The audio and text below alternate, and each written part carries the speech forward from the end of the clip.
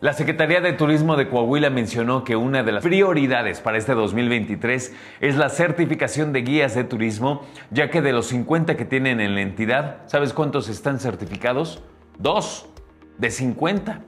Expresó que la profesionalización es un área de oportunidad que debe trabajarse y por ello se va a continuar con la formación de guías buscando que se certifiquen. La Secretaría indicó entonces que debido a la pandemia, las certificaciones que otorga el gobierno federal fueron suspendidas. Explicó que el trámite es costoso, pero se verá la forma de apoyar a los interesados.